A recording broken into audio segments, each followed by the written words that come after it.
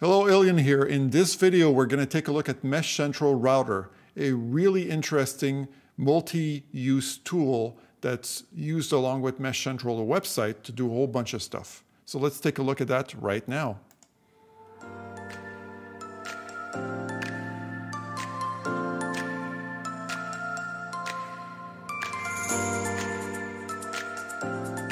So in addition to having a web portal MeshCentral allows native tools, tools that are built in the native OS, to connect to MeshCentral and to do a whole bunch of interesting stuff.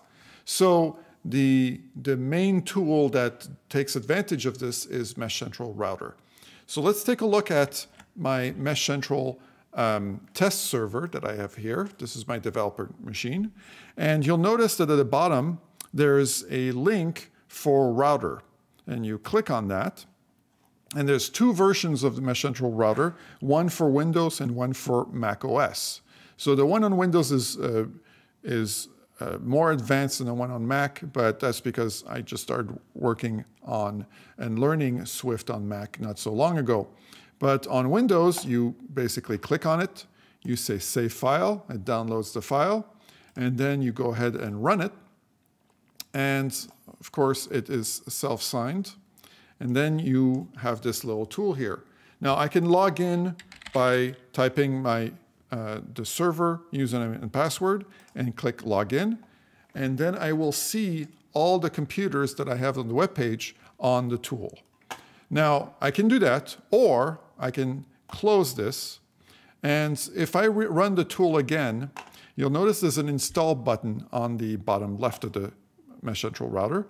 You click OK and it basically is going to set itself up so that whenever you see the URI uh, MC router colon slash slash, whenever that your, there's a URI that starts with that, then it will be sent to that tool. So now I can close the tool and I can go on router again and say launch. And the nice thing is now what happens is that MeshCentral will create a one-time uh, or a limited time token it will put it on that URI and cause the OS to open that URI, and uh, the router will, will see that and log into the server correctly. So basically, you, you can log out, log in using username and password, or you, let's see, or I can close it, just launch it straight from the website, and there it goes. Um, this option is also very useful if you're using single sign-on. So if you're attach, if you attach MeshCentral to a single, single sign-on corporate server, um, you don't have a username and password. In that case, you, that's the way you launch MeshCentral Router, is you uh, click on this button. Okay, so now the MeshCentral Router is running. One thing I want to note is that the MeshCentral Router UI is also real time. So if I click on, for example, I'm going to find uh, AMT machine 15 here. I can change the name. And when I click OK, you'll see AMT15 here should change the name also. And I'll change it back. Can change the icon, of course, and the icon will change. So this, this tool is real time. Now, what's special about this tool? Well, because it's running natively inside your OS, there's a couple of things it can do that's interesting.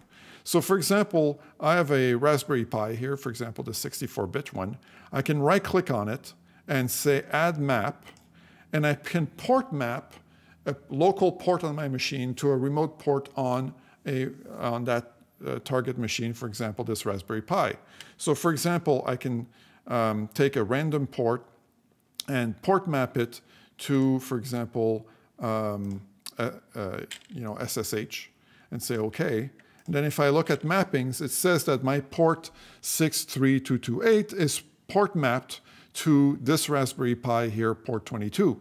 And I can open, for example, um, let's see, um, you know, SSH, and I can connect to this Raspberry Pi.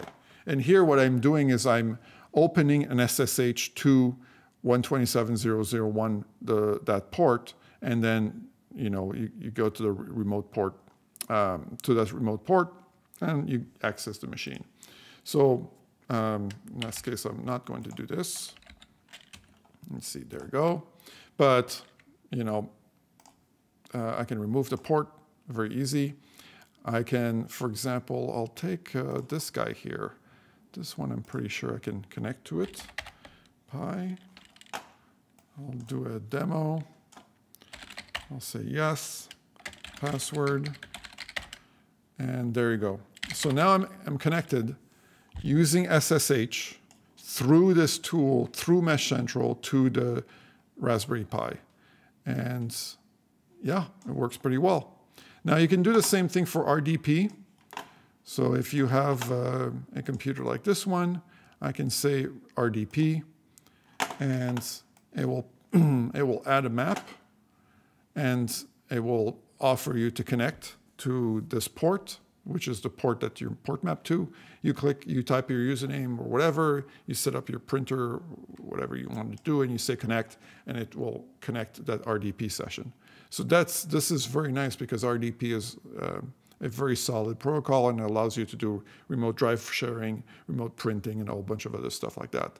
So essentially, there's a lot of people who use MeshCentral, but not really for the built-in remote desktop. They always use uh, a central router to do RDP, and uh, it works perfectly well.